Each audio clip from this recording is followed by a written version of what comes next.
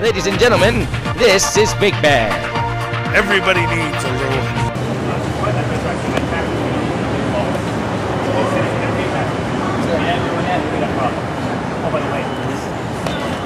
Here, get a picture of me. Go for it. How you doing today? Big Bag News. What's your name? My name is Robo Mike. Robo Mike. Uh, why are you dressed like a robot? I'm here to advertise myself as a robotic actor. You never know. With all this crowd here, somebody might see me. Might get a break in Hollywood or some commercial. That's some heavy duty fro, man. Uh, that's right. I feel like a robot. Are you voting Barack Obama in this election? I'm voting for anybody that gives me a haircut.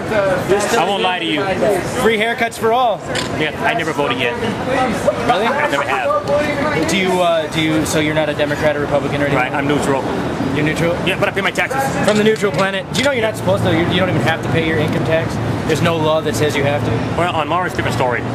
Man, come to Mars, man. Come to Mars. I'll tell you, man. It's hard up here. How do you feel about Hillary Clinton? She's a person like all of us. She's not perfect. So I can say, Latoya Jackson, it's me, Michael. Okay, sorry, different story.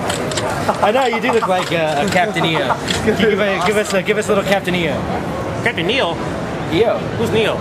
EO. Who's Eo? Captain EO from Disney. I never heard of him. Boy, you kids nowadays. All right, thank you, man, for. Uh, I can show you a cool trick before I go. Turn me off though in the back. Turn me off. I don't even want to turn you on, dude. Oh, good one.